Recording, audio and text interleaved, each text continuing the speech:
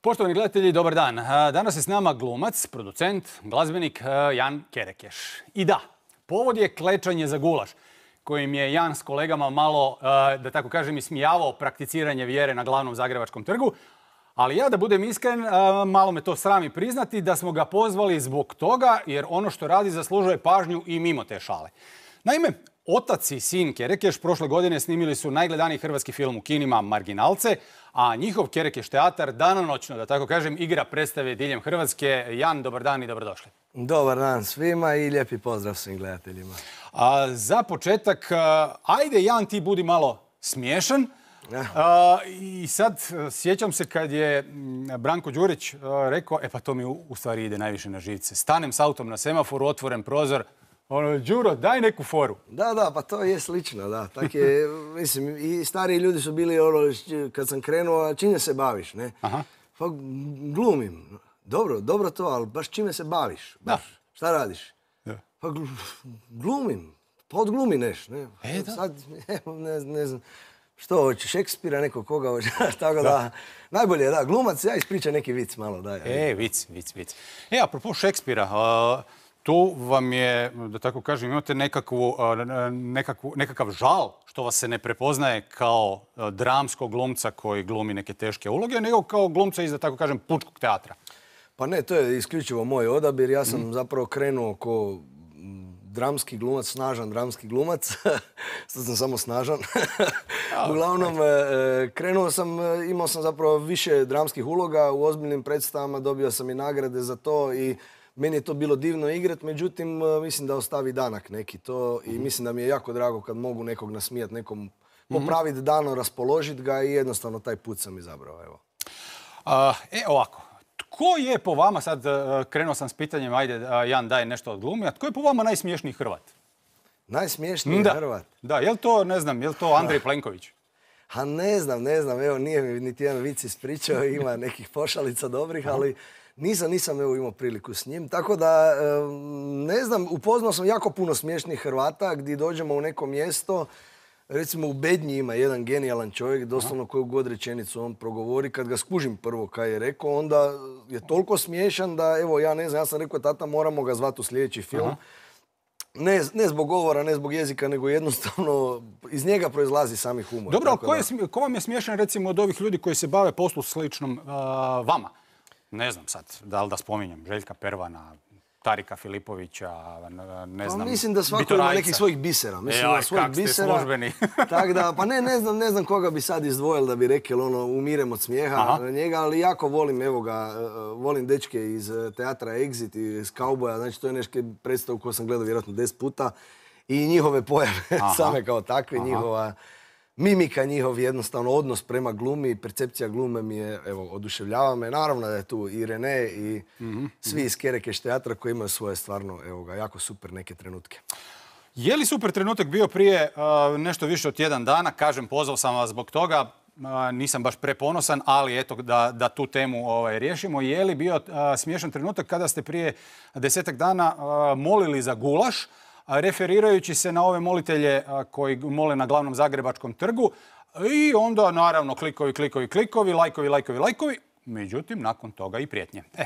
Da, pa to je postala najprečenija vijest svih vremena u Hrvatskoj, što više govori o nama, e, ovoga, kao ljudima, nego, nego o samom gulašu.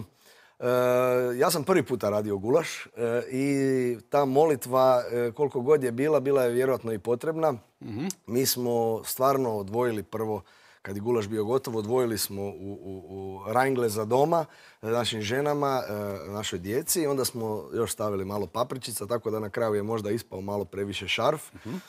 Ali da, odgovor kao na nešto što Kerkeš teatar često radi i to ne radi samo sa, kako bi sad rekli u ovoj situaciji s moliteljima na trgu. Kerekeš teatar jako često aktualne stvari izbanalizira izironizira, napravi satiru od toga i svako ko prati naše stranice može vidjeti da tu ima e, i e, ismijavanja korupcije i, i reakcija na cjepivo, ima i reakcija na e, ovu stranu seksualnosti, ovu stranu seksualnosti. Znači, doslovno sve što je aktualno, a mi mislimo da zauzima možda previše medijskog prostora, previše društvenog prostora, mi odlučimo reći neku našu šalu, pošalicu na taj račun. A, međutim, se, koliko sam shvatio, u postreakciji smeta vas odnos ovih što se mole na trgu prema ženama. Da. Konkretno. Konkretno, e, ja, kako da kažem, da evo naj, budem najdirektniji, najbrži ovoga. Mhm. Ja mislim da e, više poštujem svaku ženu, čak i onu koju ne poznajem, više poštujem od bilo kojeg muškarca koji kleči na trgu ili na ulici za to da ta žena nema svoj identitet, da nije onakva kakva ona želi biti i da bude e, e, pogodna njima, odnosno da bude, ne znam, ili čedna ili da se mora odjevati ovako onako. Ja mislim da stvarno 21. stoljeće i mislim da e, su žene, stvarno treba ih volje takve kakve jesu i to je moje mišljenje i mišljenje onih koji su klečali pred gulašem. Zaključujete nešto, ajmo se svi smiriti i pomoliti za sebe. Da, ja ovoga, e, vjerovali ili ne, e, ima raznih vjernika i ja sam vjernik. E, ovoga, ne moram klečat na trgu da ovoga, bi mogao reći za sebe da sam vjernik. Isto tako, Bibliju sam pročitao prvi puta u osnovnoj školi, drugi puta u srednjoj. Ovoga, I zadnji puta sam ju pročitao, radio sam na predstavi Gloria u Puli. Glumio sam svećenika, glumio sam, bio sam Don Zane koji moli u skrovitosti. Tu je jedna poveznica koja je jako znakovita i mislim da se referira na sve koji mole na trgovima, pa ja ću probati biti toliko e, e, e, direktan da ju izgovorim. Dakle, to je evanđelje po Mateju, molitva u skrovitosti.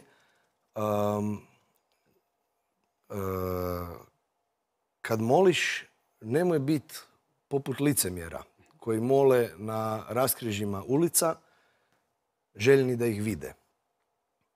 Naprotiv, ti kad moliš, uđi u svoju sobu, zatvori vrata, pomoli se njemu i on koji je u skrovitosti, on će tvoje molitve čuti. Evo, ne znam od riječi do riječi, međutim, to je nešto što je Biblija. Znači, ako ti ne poštuješ kao veliki vjernik to što piše u Bibliji, ako ne poštuješ Boga kao takvog, ne znam kako se onda možeš nazivati vjernikom i, i kako ništa drugo, evo ga slat prijeteće poruke, prepune mržnje, prepune e, e, zlobe i željet nekom da, da, da neko ovoga prolije krv, da ćeš nekom polomiti koljena, mislim da to stvarno nema vjera, nikakve veze s tim. I, I svi koji evo ga, na taj način gledaju vjeru, stvarno mislim da su zalutali. Kad se referirate na lomljenje koljena, pretpostavljam da govorite o prijetnjama koje su vam došle. Da. Nakon toga, ili nisam ove na trgu čuo da, da, da prijete nekom da, da će im lomiti ne, ne, mislim To se ne odnose na njih, nego... Ne, ja evo ne znam, ja ne znam te ljude od kojih sam dobio poruke. Naravno sam pogledao kad sam dobio pretiću poruku, mhm. krvi bi ti se mogao napiti sad, doći ćemo klečat pred vaše predstave, pa ćemo mhm. vidjeti kad izađete van ko će duže klečat. E, polomit ću koljena tebi i tvojoj obitelji, ne znam kojoj obitelji, moja kćer ima dvije godine. Ja samo znam da niko od tih ljudi koji je poslao poruke neće dva metra plići moje kćeri, to je sigurno, to ću se potruditi. A što se tiče e, ljudi koji e, šalju takve poruke, ja mislim da su i oni isto izgubili pojam što znači biti vjernik, odnosno ovoga, na taj način percipirati vjeru, Boga, ljubav, ne znam koga, evo ga. Javila se jedna gledateljica i kaže, pita vas ovako, kaže, ono što je nekada normalno prolazilo, prolazilo kao vici ili šala, danas je zbog i zbog društvenih mreža i uopćenito zbog stanja u društvu gleda pod dvostrukom lupom. Je li moguće biti, pita gledateljica, je li moguće biti kreativan, lucidan, pa i šaliti se na račun drugih, a da to ne izazove ovakve reakcije? Danas. Ne znam, ne znam, ne znam da li, da li je moguće. Ja mislim da u, u toj mjeri stvarno u nekoj umjetnosti, ako se to može nazvati, evo ga, umjetnost, mhm. neki misle da to nije umjetnost, komedija kao takva da nije umjetnost, e, e, ja mislim da je moguće. Ja mislim da bi trebala zapravo sloboda i, i, i naša i našeg sagledavanja stvari biti isto tako vrsta umjetnosti koja je viđena ili da li na predstavi ili na, na velikom platnu ili na malim ekranima. I na kraju krajeva to su glumci radili prije 500 godina. To su radili na trgovima i smijavali su e, zapravo e, političke, društvene probleme, govorili o njima i dolazili, pučki humor, evo ga, dolazili su se zezat, šalit na svoj i na tuđi račun. Mislim da to Kerekeš teatar radi i danas. Spomenuli ste i sami nešto. Plašite li se da bi nakon ovakvih reakcija moglo biti problema i u predstavama, odnosno nakon predstava koje radite? Ne. Mhm. Ne. I dalje mislim da stvarno, stvarno većina ljudi je normalna. Mhm. ja sam primio, moram reći, u zadnjih tjedan dana, već sam malo umoran odgovaranja na poruke i na pozive. Stvarno sam primio tisuće poruka i poziva. Mhm od strane, e, e, naravno, prijatelja, poznanika, ljudi koji uopće ne znam tko su, od e, vjernika, vjernica, od nekoliko svećenika, velečasnih koji su nas inače uvijek dočekali u sredinama u kojima dođemo gostovat, od branitelja koji isto tako se nađu neki po meni stupidni komentari ispod naših klećanja gdje bi boce plinske bile povezane s braniteljima. Ne, jednostavno smo kuhali gulaš jer se mora kuhat na vatri. Znači, ne možemo, bez, bez vatre ne možemo kuhati. Da smo kuhali, da smo na drva kuhali guraš, gulaš, onda bi vjerojatno ismijavali ljude koji doma e, e, moraju se grijati na drva, ne razumijem. Tako da, e, mislim da, ne. Tito i gulaš? Tito, Tito je, da. Tito se našao nekako na toj fotografiji. E sad, mnoge zasmeto Tito. Pa, ja mislim da je to isto, evo ga, kriva percepcija. Jednostavno, Tito je, nažalost, jedini koji se našao u toj vikendici, jedini kalendar, ne znam iz koje godine, našao se, da se našao neki drugi, da se našao, e, e, e, tražili smo zapravo kojeg smo tražili, evo šta da pametno kaže. Tražili smo onog premijera, onog e, koji je bio, koji je govorio da smo umjesto građani, da smo građevine. Evo, ali on nije bio dugo premijer, pa nismo mogli naći njegov kalendar. Aha, Oreškovića? Da, nis, evo, ne znam, da, njega sam baš tražio, međutim nismo Baš me zanima ima li kalendar s Oreškovića. Ako nema, nadam se da će neko napraviti. Nema, ili male neke karte za Belu bar da. Uglavnom, e, e, vjerujte mi, uvjeravam vas da naša politička uvjerenja stvarno nemaju apsolutno nikakve veze sa tom fotografijom, niti Kerekeš teatar je naslonjen na bilo koga. Niti lijevo, ni desno, ni sredina, nigdje. Kad kažete e, niste e, politički, e, lijevo, ni desno, ni sredina, ni nigdje i kad kažete ja sam vjernik, pravdate li se vi na neki način?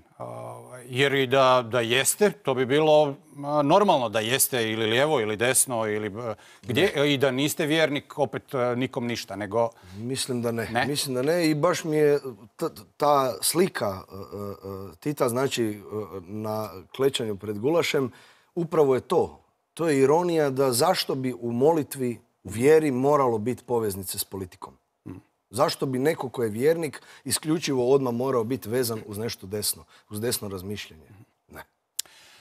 E, ajmo, gulaš na stranu. By the way, kažete da je bio šarf, ali zadovoljni ste. Ljudi moji, najbolji gulaš, svi koji su jeli su rekli najbolji gulaš. Dobro. da ja ću ga opet raditi. Dobro, Zagorec, kak, se, kak se dela taj gulaš? A kad treba puno luka dinstati. Koliko luka, toliko i mesa. Ja. Tako da, tri kile luka, tri kile mesa je bilo. Tak je i za grah s ričetom. Slično. Prošle godine napravili ste najgledaniji hrvatski film u kinima. I to malo ljudi u stvari zna. Znaju oni koji su otišli u kino, njih negdje 47,5 tisuća do sada. A i sad opet da se nadovežem na ovo o čemu smo razgovarali, vidio sam komentar, aha, zove Jana u goste da bi isproducirao dodatno svoj film na uštrb drugog filma po gledanosti, a to je šesti autobus koji je imao negdje 30 tisuća gledatelja. Naravno, nema veze nikakve, apsolutno.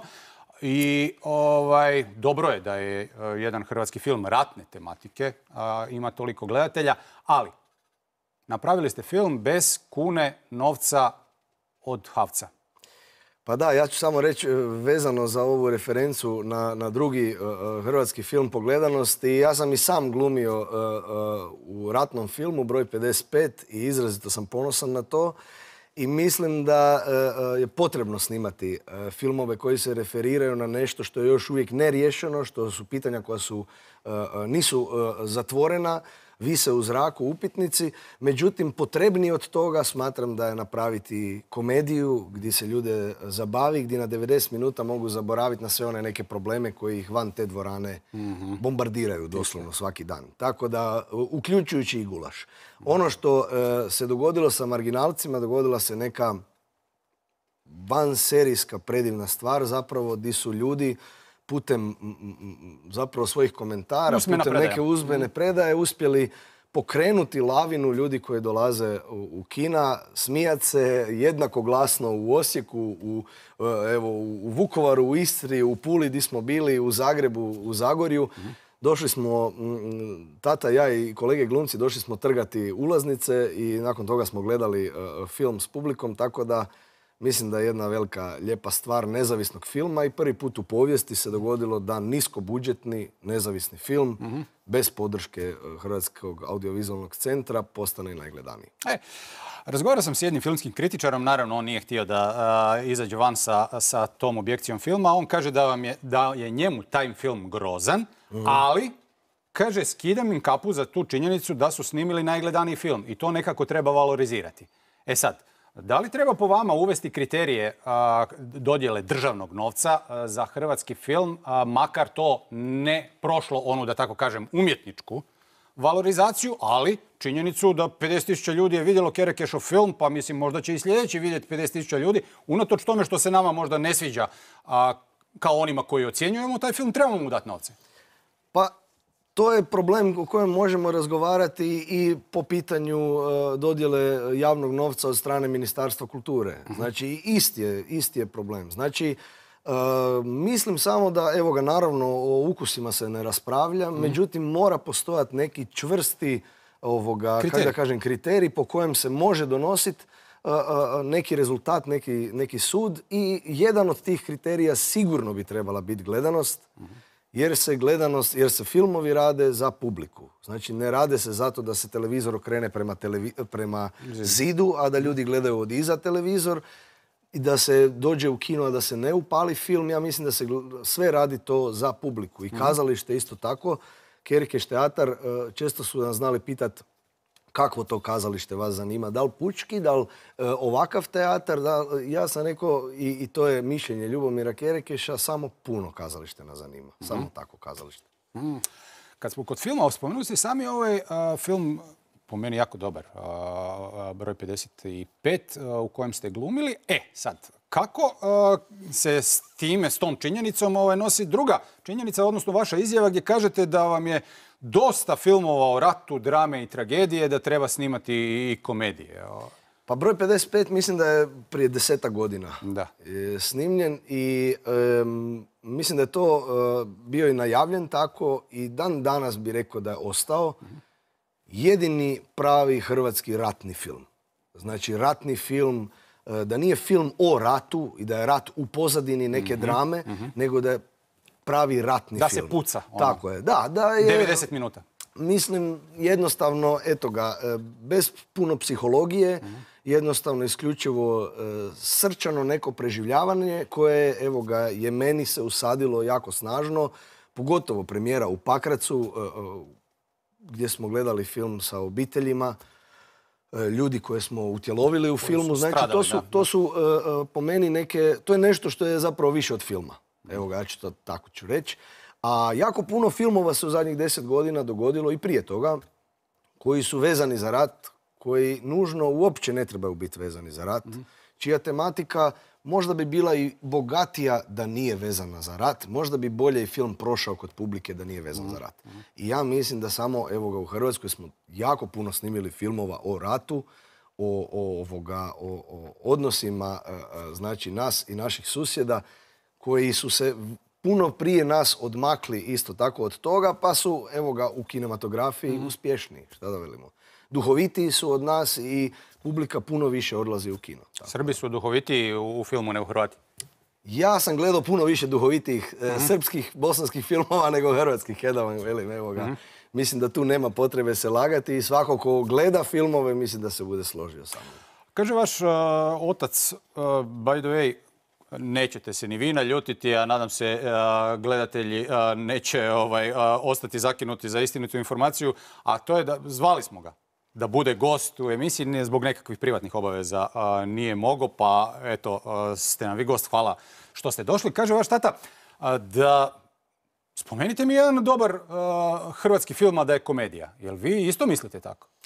Pa ja bih rekao možda filmovi na kojem sam se najviše nasmijao od kad gledam hrvatske filme, od kad znam za sebe.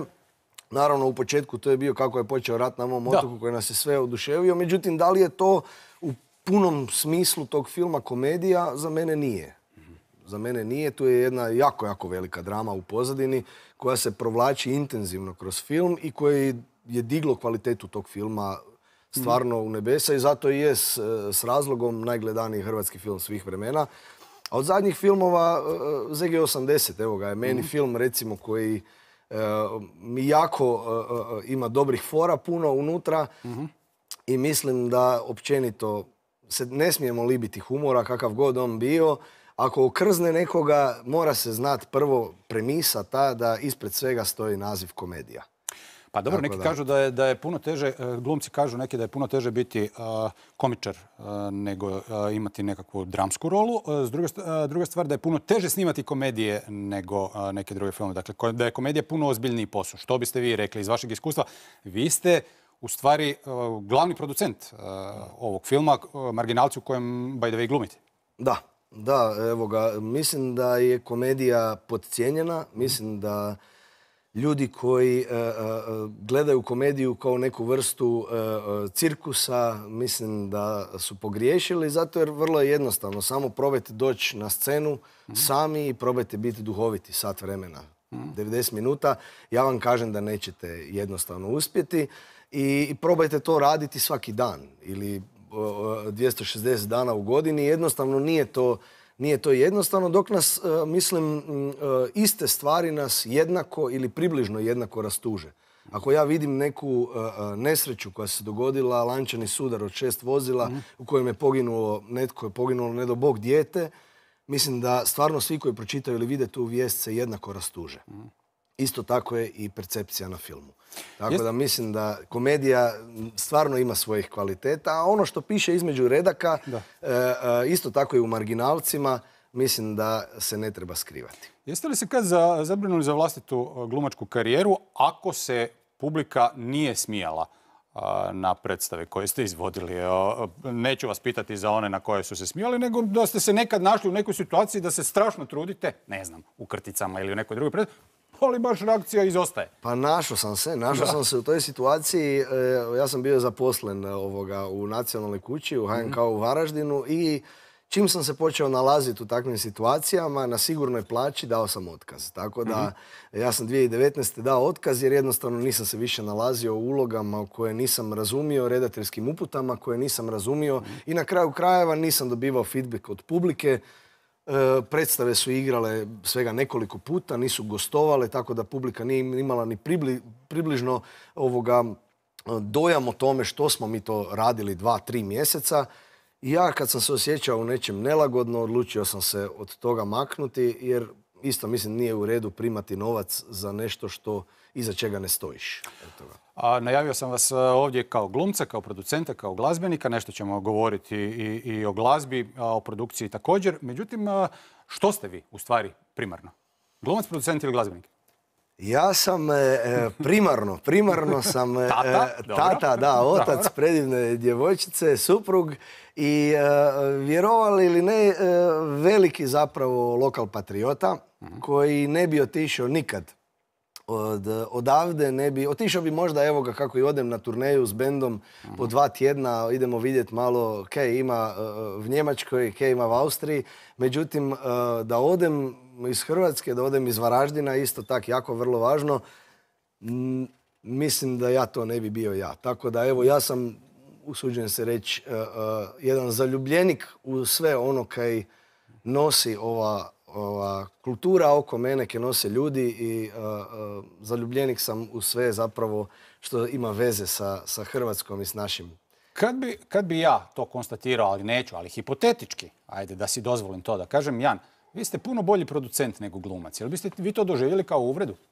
Naravno da ne. Naravno da ne. To je vaše mišljenje. To je vaše subjektivno mišljenje koje... A kad bi to zbilja bilo tako, jel bi to vas uh, vrijeđalo kao čovjeka koji je završio akademiju, koji je puno uložio u glumu? Sigurno ne, zato jer meni je mene sve to jako veseli. Znači, mene produciranje filma i, i sva ova promocija filma mene veseli možda više nego 50% predstava koje sam napravio u životu.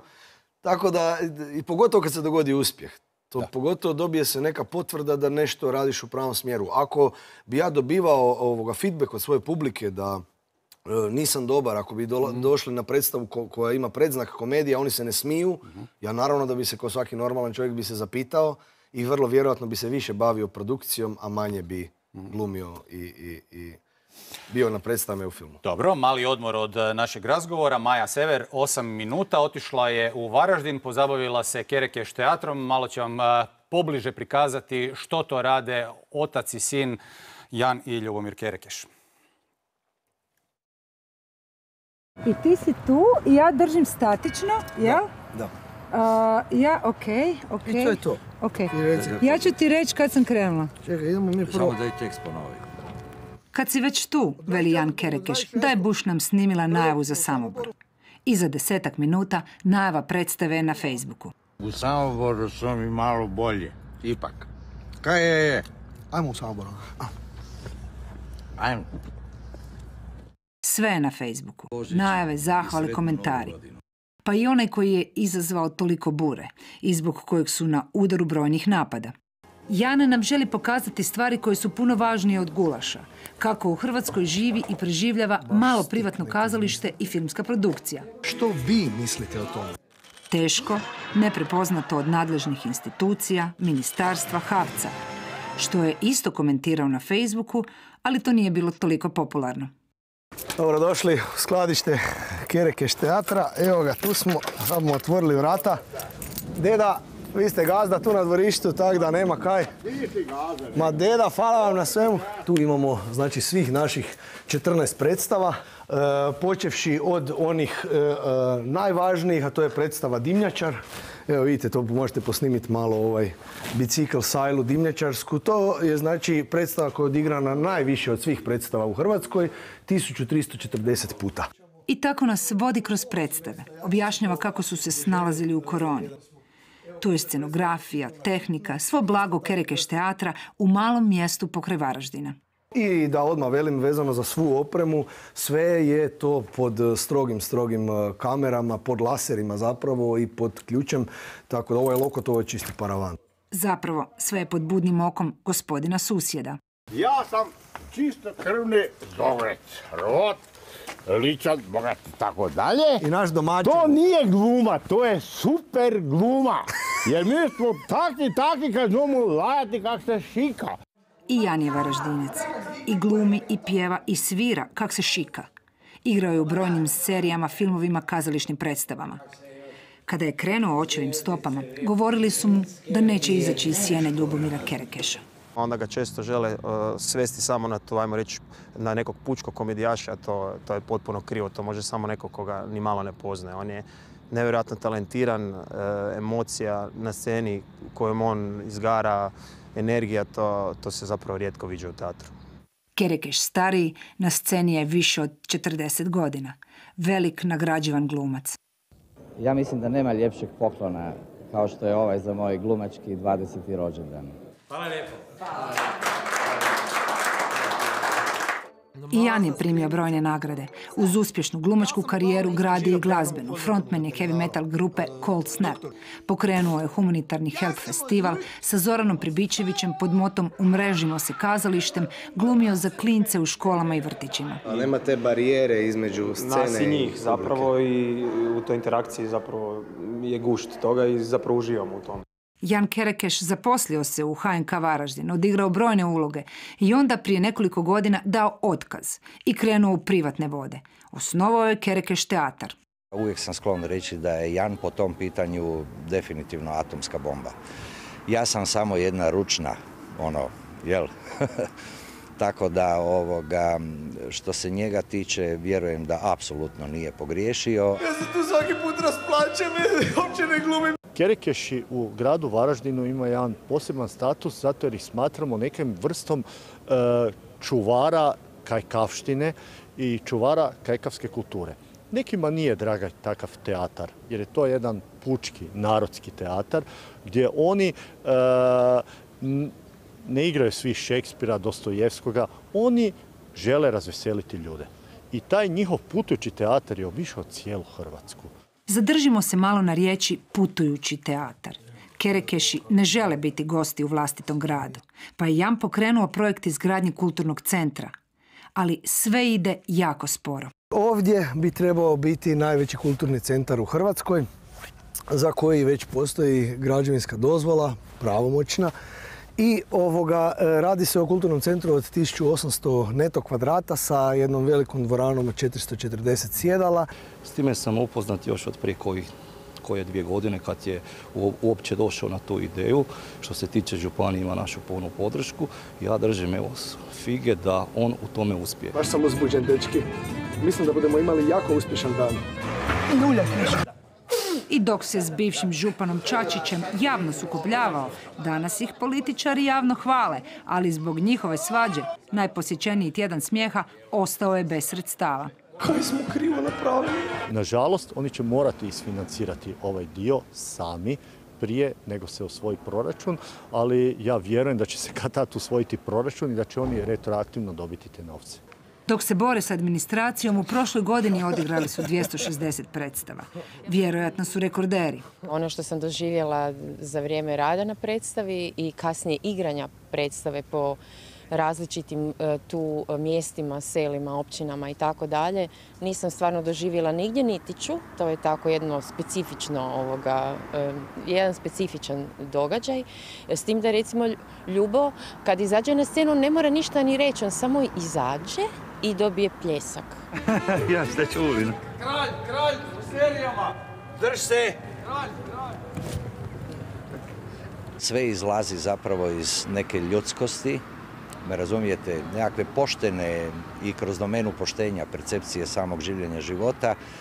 I to je nešto na čemu sam ja s Janom oduvijek e, radio i to je ta neka linija na kojoj mi funkcioniramo. Iz toga se rađa i dobra predstava i dobra realizacija i sjajan odaziv e, i reakcija kod publike i prije svega isto tako i sjajna suradnja sa svim našim kolegama s kojima radimo jer e, ja uvijek sam sklon reći na početku rada na nekoj novoj predstavi, svakoj predstavi samo da si vjerujemo. Ono što je najvažnije, na svaku predstavu, na svaku probu, ne idem sa grčem u želucu. To nije samo vezano uz, naš, uz našu profesiju, nego u sve profesije i vjerojatno svi znate što znači ići na neki posao, a da ideš sa grčem u želucu. Ja moram priznati, radeći sa Kerekeš teatrom, ne idem sa grčem, idem s ljubavlju, idem s veseljem, na probe i na predstave. Koliko bu trajal taj cijeli program? U proteklim godinama naučili smo da ponekad program lako stane. Da, kad nije bilo predstava, kad je sve bilo online, onda smo otvorili Kereke Shop. Šta da se kaže? I snimili su Marginalce, najgledaniji film u hrvatskim kinima. Svi smo mi Film ruši rekorde, njihova mala družina ima šest stalno zaposlenih. Jana možda znate kao komičara, simpatičnog dečeca iz Varaždina. Ali on gura jednu vrlo uspješnu priču usprkos svim preprekama lokalne i nacionalne administracije. Ovdje nas neko jebe.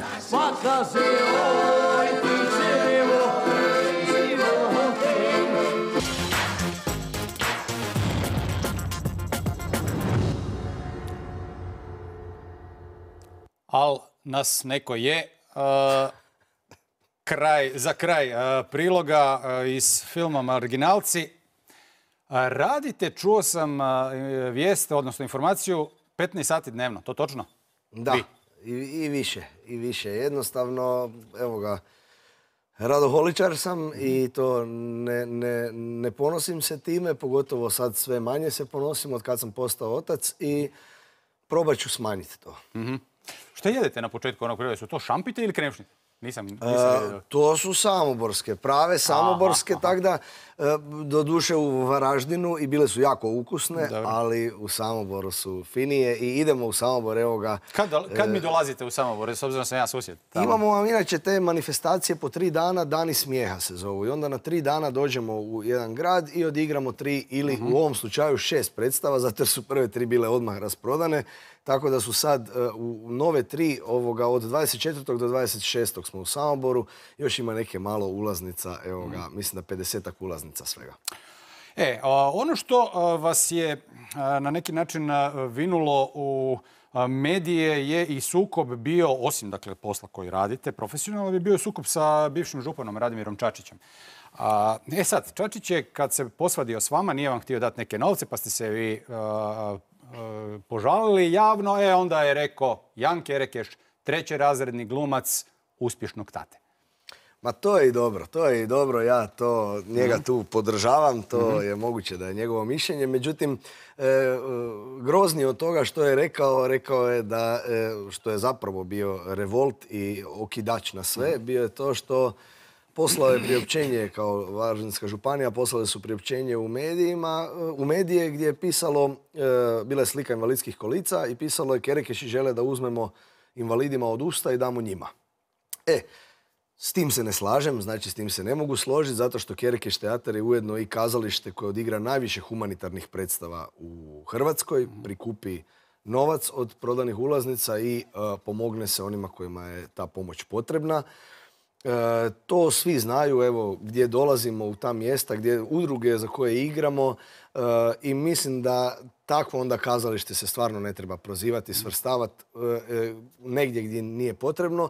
A tih novaca kojih je falilo, to se dogodilo znači sa najvećim, najposjećenijim kazališnim festivalom u Hrvatskoj, to je Tjedan smijeha.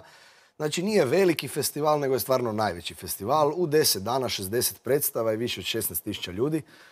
Mi smo dobili 3000 kuna za, za taj festival i, i smatrali smo da to nije pravedno, zato jer javni novac se dijeli kazalištima za javne programe u Hrvatskoj, isto kao i Ministarstvo kulture kako dijeli, isto tako mislimo da tu fali još puno, puno ravnopravnosti i puno, puno e, faktora po kojima bi se mogla taj novac pravilno poraspodijeliti ili pravednije. Čačić, Čačić je tada rekao da a, vi imate izvrsne prihode kao Kerekeš teatar i zašto bi vas županija još financirala? Pa da, zašto bi neko ko radi dobro mogao raditi još bolje? Ne? To je užasno. Treba pomoći onima koji rade katastrofalno ili koji ništa ne rade.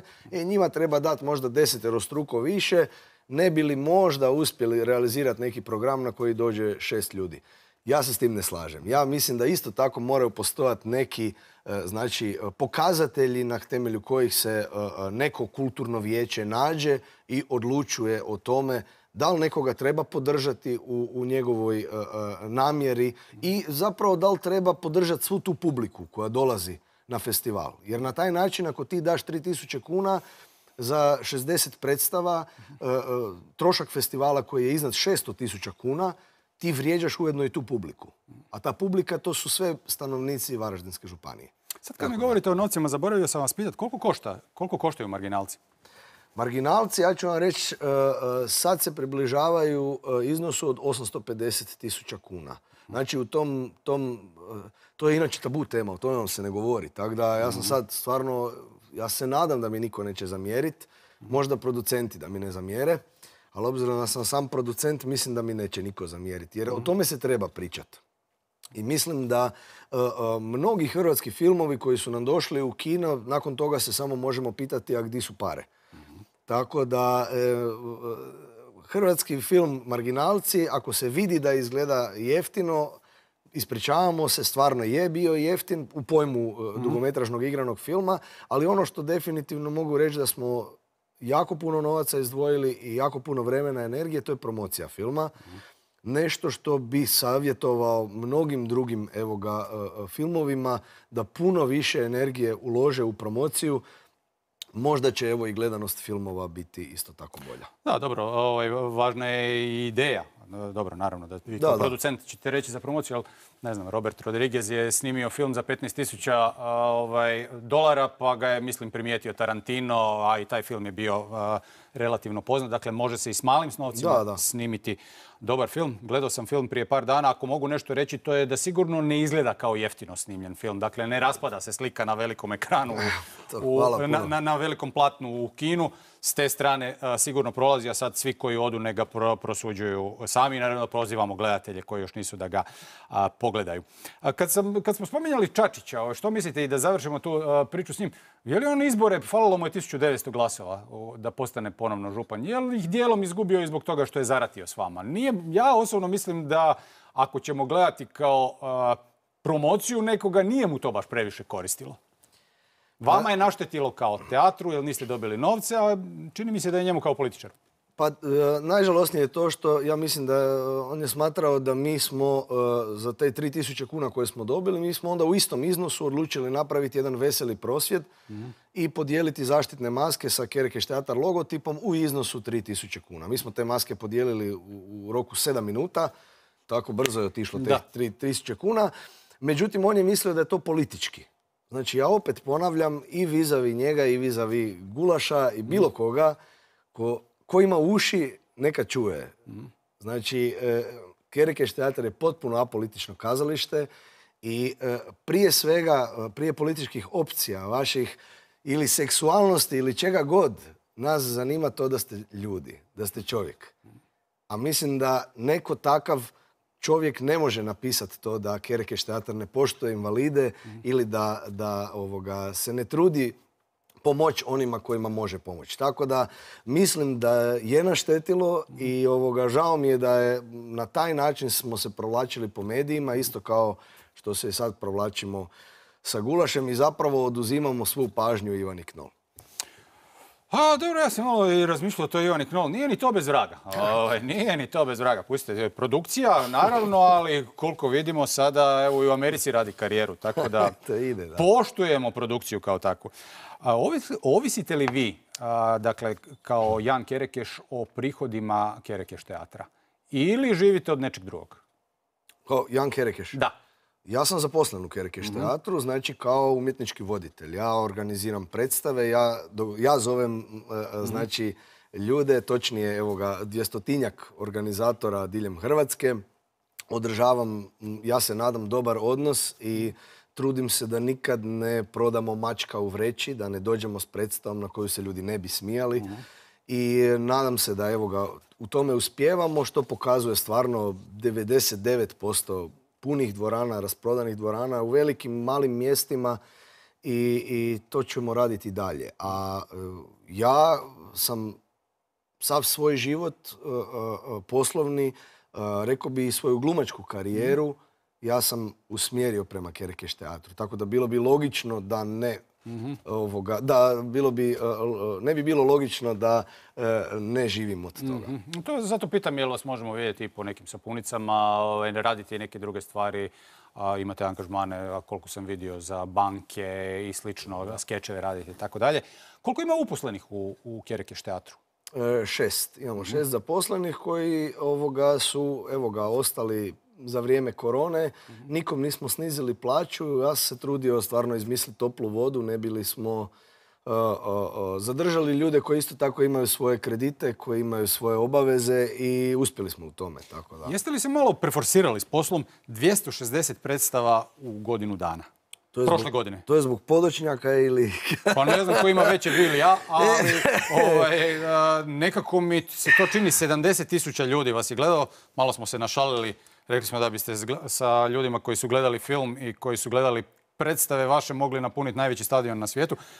A, Jeste li se malo preforsirali? Jesmo. Jesmo, preforsirali smo se i ovoga, e, ljudi koji su vezani za Kerekeš teatar i kao vanjski suradnici, znači mi nemamo zaposlenih glumaca, e, mislim da nećemo nikad imati, jednostavno glumci koliko odigraju predstava, toliko e, dobe na kraju mjeseca honorar. Uglavnom, e, e, svi oni znaju e, gdje smo sve igrali predstave, igrali smo e, na mjestima koja nisu kazališna, i trudit ćemo se u budućnosti to minimalizirati, vratiti se malo, kako da kažem, kazalištu. Mislim da je vrijeme ono postkoronsko je, mog- mogli bismo reći, prošlo i ne trebamo više nadoknađivati uh, neke minuse, neke stresne situacije zapravo u kojima smo se našli, jer kad ti neko kaže na šest mjeseci, ej, ne smiješ raditi to što radiš, ne smiješ igrati predstave. Da.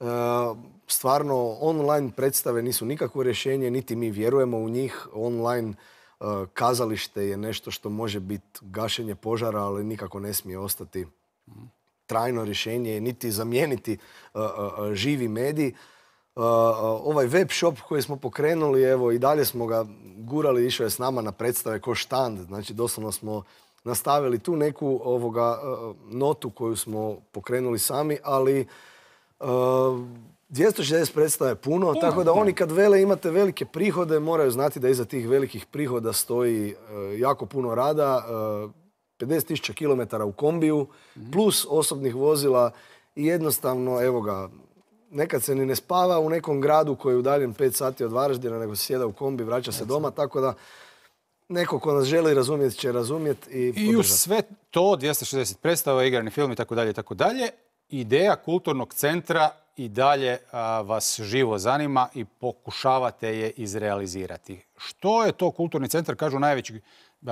vaša ideja je da to bude najveće kulturno okupljalište, da tako kažem, u, u Hrvatskoj. E sad, što to znači?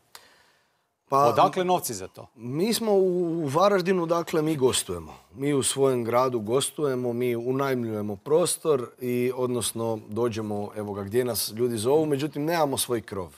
Čak i skladište nemamo u Varaždinu, imamo u, u, u, u općini Do, ovoga, u, u- u drugom mjestu, urede nemamo u Varaždinu, tako the da... way, skladište, ovaj, a, zovete ga Deda, to je glumac ili Deda- je to ne, ne, originalni deda, Deda? Deda je deda. Deda je naš e, e, domaćin, tam koji nas dočeka nakon svakog gostovanja, isprati na svako gostovanje i definitivno jedan Čekaj, od je- najživopisnijih ljudi. koje Šta je rekao? Zagorec, Hrvat i Ličan? Sve je on. Sve, sve je. Deda je, deda je, kako bi se reklo, stvarno e, e, broj jedan. Dobro. Ka- Kulturni centar. Kulturni centar i, e, mislimo da nam je potreban i mislimo da e, e, ne samo da je nama potreban da možemo raditi predstave, zato jer predstave su doslovno možda 5% sadržaja koji bi se radio u tom kulturnom centru. Tu bi bilo najviše sadržaja za djecu. Od radionica, od e, rođendaonica, od programa koje ja mislim da djeca u Varaždinu stvarno su zakinuta. I zapravo, evo ga, moji kolege u Zagrebu imaju jako, jako puno e, sadržaja za koje u Varaždinu nismo, nažalost, niti čuli. I mislim da kulturni centar e, e, bi trebao biti mjesto u kojem mogu doći i škole raditi svoje programe, a ne da sve se smješta onda u jedinu trenutno dvoranu moguću u Varaždinu, a to je nacionalno kazalište. Tako da sve to zajedno mislim da će imati dugoročno veliku korist, a Kerekeš teatar je samo, samo putnik u tom kulturnom centru, zna- zato što po zakonu... Dobro, ali vi tražite da se zove Kerekeš teatar. Tako je, da, zato jer... E, e, onda to- niste putnik, onda ste... Da, zato jer ćemo ga napraviti. Pa? Ali putnik smo zato što e, nakon 30 godina mi smo dobili pravo građenja i godišnje plaćamo 45.000 kuna e, po ugovoru, plaćamo gradu da možemo tamo uopće graditi. Nakon tih 30 godina taj kulturni centar će ostati gradu, odnosno građanima grada Varaždina, što je jako važno i svako ko e, e, razumije taj proces neprofitne udruge i, i e, e, materijalno, nematerijalno, mislim da će shvatiti da je to ulaganje u nešto stvarno dugoročno. Dobro, taj projekt sad stoji. Jel možete vi nešto iz europskih fondova povući ili trebate na neki drugi način? Ovaj? Pa vučemo svaki dan, vučemo, ali ne vučemo dovoljno. Nikak da dovlečite. Čekamo, čekamo natječaj, e, e, nacionalni plan oporavka kao ozebli sunce. Imamo građevinsku dozvolu, znači kao što smo rekli, i mi smo spremni prijaviti jedan kulturni centar koji bi zapravo bio kulturni centar cijele te sjeverne Hrvatske, a mi ćemo se truditi s našim poslovanjem samo da ga održimo, da on bude samo održiv i naravno uz e, europski novac da ćemo dići, ko svaki dobri e, Hrvati, dićemo kredit. A, možete li vi u emisiji napraviti ovo i onda na par trenutaka ne biti sad Jan Kerekeš koji govori o, o produkciji, nego nešto nam pokazati iz a, svog ha, fraza je, ali bogatog repertoara, činjenice. Da. A, razgovarao sam tu a, s vama gledajući i pripremajući se za emisiju oni dijelovi a, kada, a to je bilo aktualno do nedavno, a, kada nogometaši obično nakon utakmice izjavljuju ovaj, što i kako su igrali ili treneri i tako dalje, pa ste se vi malo našalili pa ste ovaj, odlučili ovaj, to staviti u kontekst glumaca. Pa šta glumac izjavljuje nakon predstave ove, kako se osjećao i kakvu taktiku je imao? Pa da, mislim da e, slušati to, lopta je okrugla, mogli smo više, ali nismo, ja ne znam više ko gleda te izjave, sluša. Koliko god ja, e, ja sam strastveni navijač, bil sam i navijač Varteksa, ovoga, e, i jednostavno sve te tekme ja e, stvarno toliko, toliko se uživim da uživam u tome, međutim ovom sve što je popratno uz samu utakmicu, nažalost mislim da Aha. evo isto tako se uzima previše pažnje. A sad glumac nakon predstave, pa često sad ima u ovim komentarima, često ima uh, referiranje zašto ne govorimo o uh, uh, uh, mm, homoseksualcima, zašto ne govorimo o tome. Ja imam jednog lika iz predstave Ljubav. Jako je dragi lik, tako da on je Ivek Klubučar mm, iz knjigenca Gornjeg, ne? Čisto vezano za predstave, ne? Bilja jedan dečko, tako je izgleda kako vi je izgledao, no? Isto je, ima malo losi, ali je bilja v drugom redu i sad, dok je ova Begička gluma, sam ja žena baš pravić ne preferiram životu, dok je glumila, vidio sam da on uopće nju ne proti, on je samo mene gleda, tako da, kako bi vam rekao, svi ovi muškarci kad su onako napasti, kad me gledaju, kak glumim, bilo ja im preporučam da onak na večer, kad niko ih ne vidi, da lepo odeju dole do frižidera ili gdje im već se nalazi škrinja i da si ga denaju u duboko. Evo ga. Hvala lijepo. Molim lijepa da krenemo u sličnom tonu dalje ili možda u nešto drugčijem. Nismo razgovarali, imamo za četiri zadnjih a, minuta Cold Snap. Band, spomenuli ste ovdje nešto, ne znaju, osim onih, što bi rekli dalmatinci, fetivih zaljubljenika u heavy metal, da se bavite i time. E sad, koliko je to u stvari neki hobi u sve ovo što radite i koliko tome ozbiljno pristupate i možete li uopće ozbiljno pristupati? Pa nekad prije smo, eh, evo ga, svi zajedno, dečki u bendu, vjerovali da možemo jako puno napraviti i jako smo puno vremena i energije odvajali na to. Danas je to stvarno jedan hobi vikendima gdje se nađemo u jednoj prostoriji, gdje se dobro izdivljamo, izderemo u mikrofon i, i ovoga, zapravo svu neku negativu koju možemo e, e, izbaciti tamo, izbacimo tamo u toj prostoriji. E, Bend je jako ozbiljan, ja mislim ove godine slavimo i 20 godina. Na sceni, preko 450 koncerata, imamo evo ga četiri studijska albuma, dvadesetak video spotova i trudit ćemo se ove godine što više koncerata e, odsvirati. I naravno ako trebate za vjenčanje, neko za svadbu, kad treba ljude doma potjerati, onda mi dođemo. E pa dajte, dajte nam nešto otpjevajte da, da ljudi ovi e, za vjenčanja, a, ne znam da li za sprovode planiraju, ali ovi za vjenčanja koji misle, a, da vide otprilike kakav je to repertoar i na šta se, što mogu očekivati. Ali sigurno, sigurno. Jer, Sigurno, jer sigurno. to morate znati, to će vam pas gledanost, sigurno. Ako ja sad, ne, malo mikrofon, treba malo smanjiti. Treba mikrofon, Aha, da ne dobro. bi bilo... Da, ja se derem u mikrofon zapravo, tako da... Aha, Moja dobro. baka bi rekla ko da se psi gone. Dok čaše ne pucaju, dobro. je. Da, e, e, evo ga, može, može, može, može, može. Može?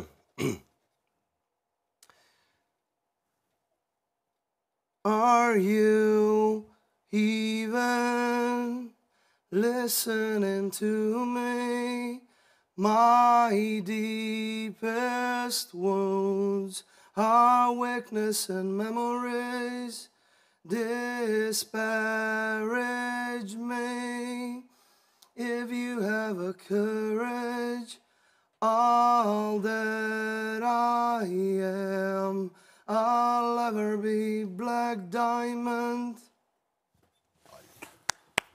Pa to je kao neki gospel bio, ne bi ja to, je, ne, ne je, bi pa ja- mi samo takve imamo pjesme. Da, da, da, da, da, znam. E sad odmah da vas pitam, a, a, vidim pjevati znate, glumiti nek prosuđuju a, oni koji gledaju vaše predstave, a, za glumca jašete li konja, mačujete li? To je kao da nekad Ma bila čim pretpostavka. bavio sam Da. onaj floret, da, da, Da. to sam, to sam znao. To sam znao, tako da kad treba, uglavnom kratko je to bilo. Mhm. Kad smo krenuli stvarno se pikati, onda sam u Modricama napustio taj sport, tako da sad sam trenutno na košarci i na badmintonu. A, košarka i bad, dobro, bad- badminton je dosta zahtjevan sport. Zagorci ili Međumurci za kraj? Da vas pitam. A, z Varaždina dolazite. Zagorci, rekli da je Zagorje je za gorom. Zagorje je, znači tam iza Ivanca, tam ide Zagorje. Mura to je prek mosta moraš prejti, ne? Znači Međimurci, ne? Ja bih vam rekao, ja sam Varaždinec, e, domovine sin i ovoga, volim podjednako Međimurce i Zagorce. A, dobro, dobro. Koja dubrovačka diplomacija prisutna i u Varaždinu ili ti Varaždinu. Hvala, hvala Jan e, za sada. E, Poštovani gledatelji, ovo je u 55 minuta bilo sve na televiziji. Možete nas dalje pratiti na YouTube-u ili na Facebooku nedjeljom u tri, gdje ćemo malo porazgovarati i o odnosu sa tatom. To će sad biti jedna dubinska psihoanaliza. A malo ćemo imati i odgovore vas gledatelja koji ste postavljali pitanja preko društvenih mreža. Vidimo se u tri sata. Jan, hvala za sada. Hvala vama.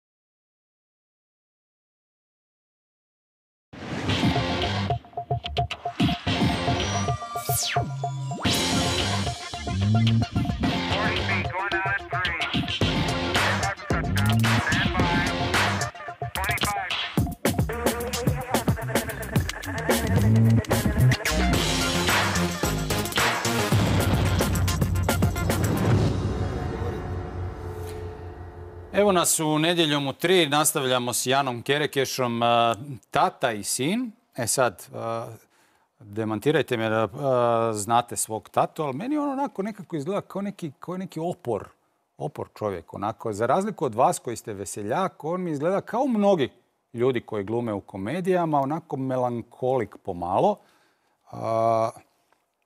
Jesam u pravu?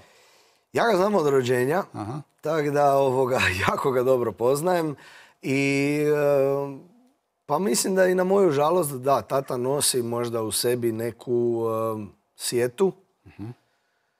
Tako da komedija je često mu ujedno i lijek i njemu samom i publici i meni.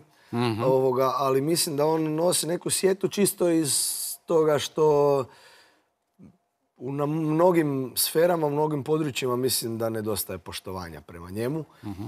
I ja to mislim kao kolega glumac, ne, kao, ne samo kao sin. Nadam se da će jednog dana se neke nepravde ispraviti. Ajmo reći, pitao sam vas u, u, u emisiji jeste li Zagorac ili Međimurac, rekli ste Varaždinec, možda je tata Međimurac. Kažu za Međimurce ovaj, da, su, da su oni ti ovaj, tog karaktera. Teško, tata, tata nije s toga, on je s drugoga briga, tako da tata Ne bi bil. ne bi bilo, ne bi, on je preše potpuno drugo selo, tako da ne. A, najbolji ste prijatelj s tatom? Da, da.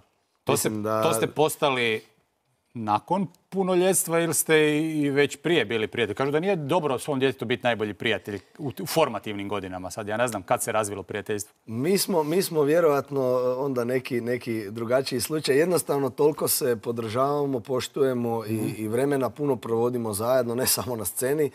E, imamo zajedničke interese, imamo nekako mm, razumijevanje prema svemu zajednič, zajedničko, tako da e, mogu reći da, da mi je tata najbolji prijatelj i najdugovječniji prijatelj. Hoćete snimati treći film? Sigurno. Da? Sigurno, sigurno, evo ga, e, ovo je veliki vjetar u leđa.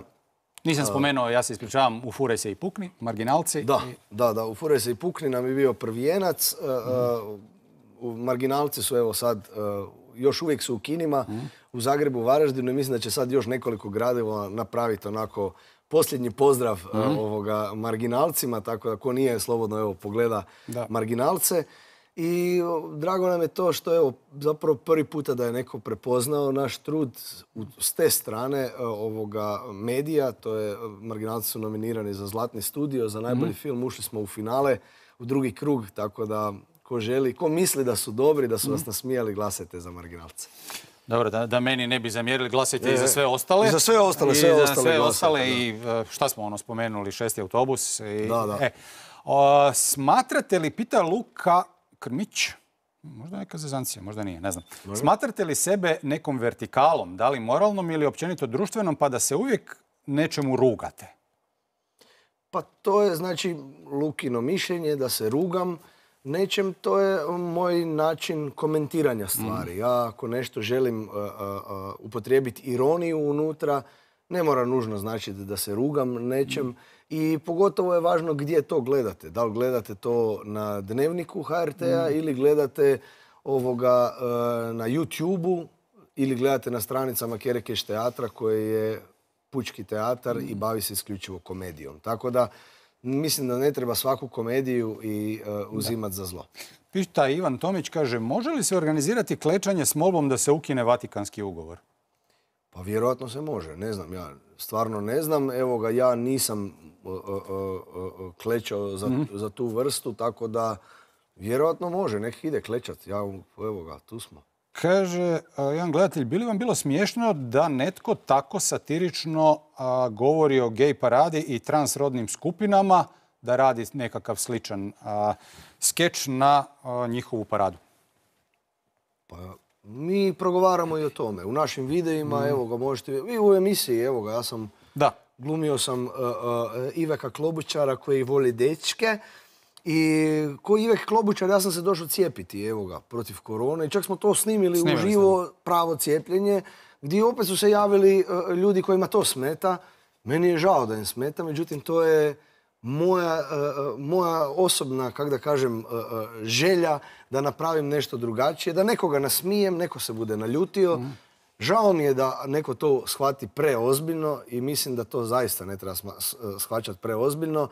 Isto kao što ne treba stavljati tuđe riječi u, u tuđa usta. Odnosno, em, mislim da jednako tako kao i e, oni koji mole na trgovima, jednako tako i oni koji mašu sa zastavama i govore da li vole žene ili muškarce, mislim da jednako dobivaju previše pažnje i mislim da je to nepotrebno. A, koji ste, ovo se opet e, referenca na tatu, koji ste najbolji glumački savjet dobili od oca? E, sve kaj radiš, radi uvijek do kraja. I ja tak pristupam tome ne samo na kazališnim daskama, nego i u životu. Evo ga. Kritizirali Sve- vas sve tako što kada vjerujem. tata kaže e, Jan, Naravno, Jan naravno. šmiraš, ono, ne, ni- nisi dobro to Pa odigrao. ili da, ili šmiraš, ili uh, dogovorimo se, možeš tu malo se više dati u to. I to je normalno, zato jer je to kazalište jako živo i to je iz dana u dan. Visi kako se ti osjećaš. Osjećaš. Nekad ima dana kad ja ne mogu samog sebe nasmijat, Mhm. a kamoli koga drugog, a opet moraš doći pred 300 ljudi i biti duhovit sat i pol. Tako da, naravno, svaki savjet je ti uvijek dobro došli, pogotovo od uh, uh, uh, tate, pogotovo od starijeg kolege koji ima i tekako iskustvo. Mm, koji su vaši najveći strahovi, pita Ivana Matas. Najveći strahovi? Da. Pa najveći strah moj je da, uh, da neću uspjet uh, uh, uh, ostaviti trag u svojoj obitelji. Evo ga. Mhm. Znači da, ne, da se ne bi uspio dokazati svojoj obitelji. Da najveći strah je da od svoje obitelji ne budem voljen, da ne budem poštivan. Evo ga. To, to, to bi mi bilo jako, jako teško. Toga se bojim i tu ću se truditi da se to nikad ne dogodi. Mlad ste otac, što mislite da je važno u očinstvu? Ili u roditeljstvu? Pa, e, ja imam e, kćerkicu e, i ovoga, mislim da je važno mislim da je važno od rođenja, od, evo ga, od malena zapravo usaditi vrijednosti kao što su samopouzdanje, kao što je poštivanje raznolikosti, kao što je ovoga hrabrost, htio bi da bude snažna i mislim da je općenito važno da djeca u ovom nekom ludom tempu života koji je stvarno duplo brži e, za razliku od zadnjih 20 godina.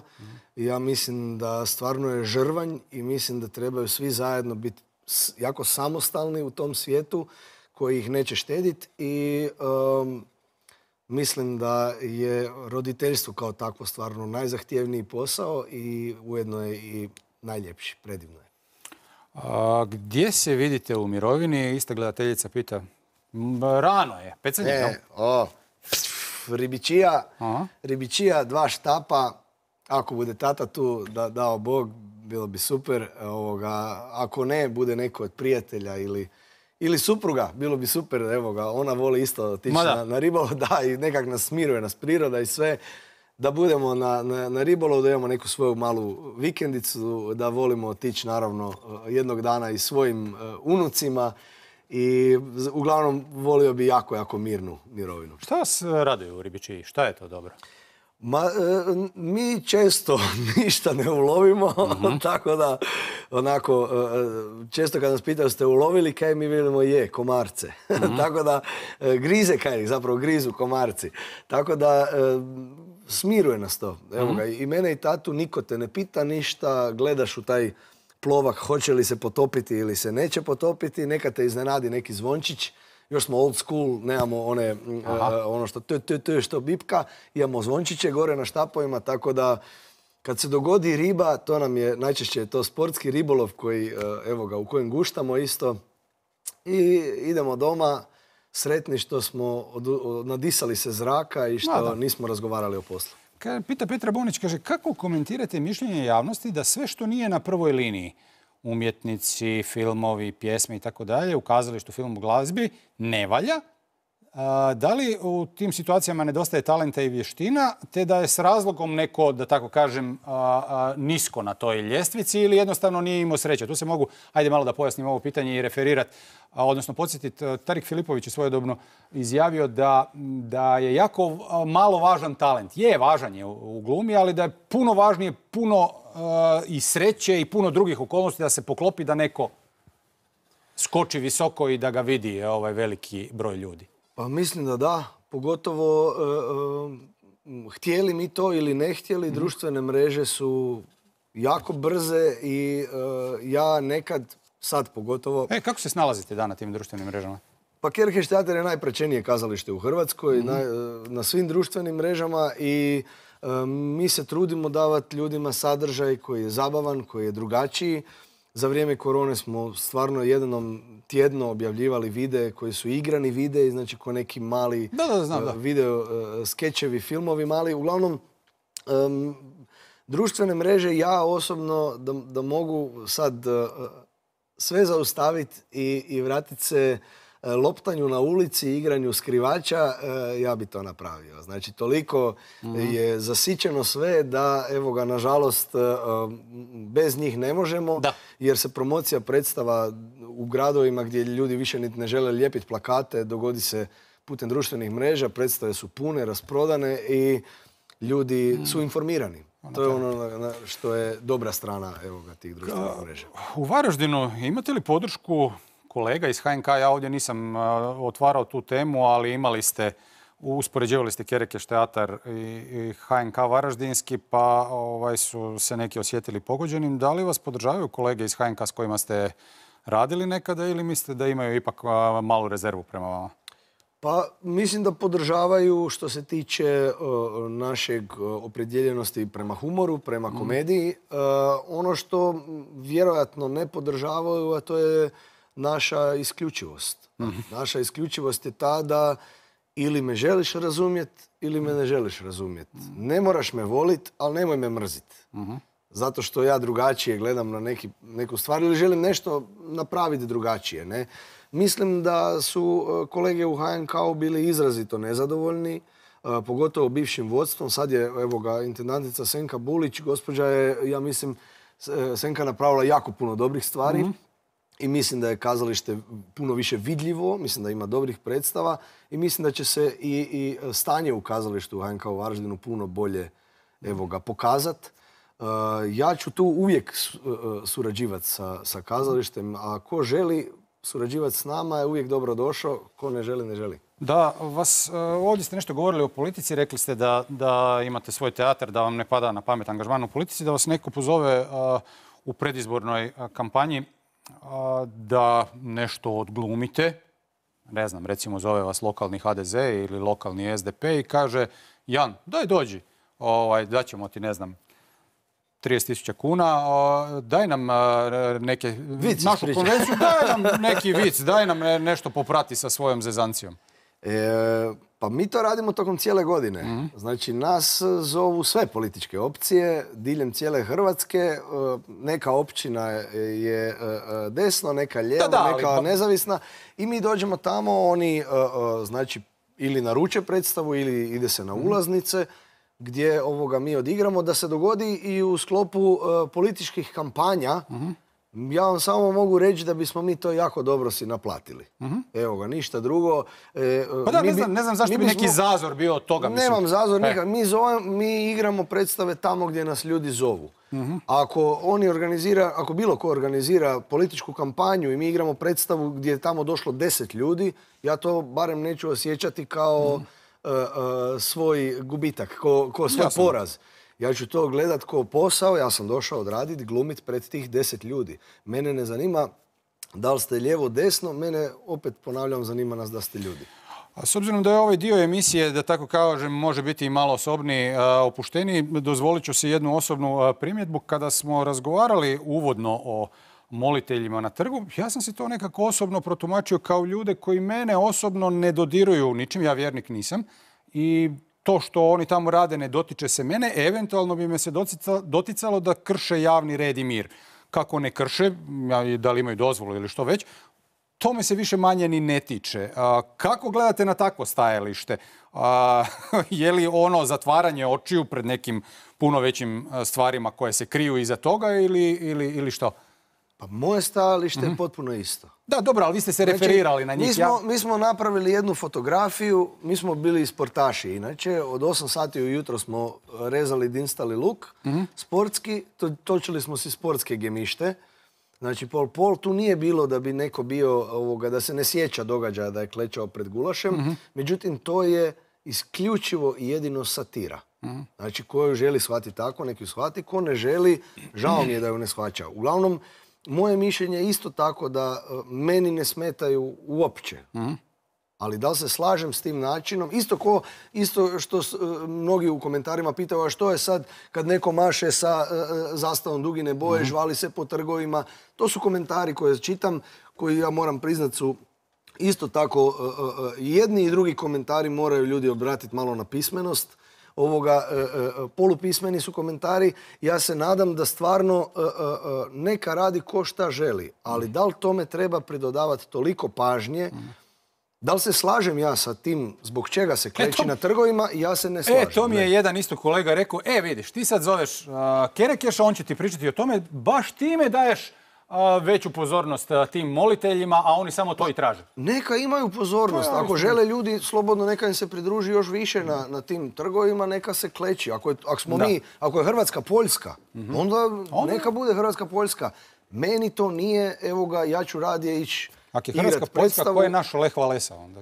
Šta E, to, to ne znam, bome, bome ne znam. Ja sam više, evo ga, velim, vratit ću se na ono što smo imali na početku emisije e, Mhm. Nedjeljom u dva, prije sat i pol. Uglavnom, e, e, ja ću prije nego ću podržati sve one koji kleče za ovo za što su se referirali da kleče, ja ću podržati svaku ženu pojedinačno. Za kraj, kog od hrvatskih glumaca, a možemo otići i u povijest, ili glumica, volite? Ko vam je drag glumac? Pa, Ili glumica? Na, na, na filmu, evo ga, jako mi je bio drag Ivo Gregurević. Uh, um, volio sam zapravo ovoga, ljude kojih nekih više nema. Mislim da uh, uh, Rakan, Rakan je evo ga, Mhm. potpuni car. E, ja mislim da uh, kolege s kojima trenutno radim i Rene u, u Ludoj kući, uh, mislim da su to sve ljudi koji su ostavili jako neke dobre stvari i na uh, filmu i u kazalištu i ja se nadam da ću što više surađivati s njima. Najbolji hrvatski film? Najbolji hrvatski film? Meni najbolji hrvatski film jako je ostavio utisak na mene je Zvizdan. Vidite. Šteta što ste mi to na kraju rekli. Eto, ali nemamo više vremena. Hvala lijepa. Jan Dadi Mataniću, naravno, pozdrav. A, poštovani gledatelji, bilo je to sve za sada. Vidimo se za tjedan dana. Bye, bye.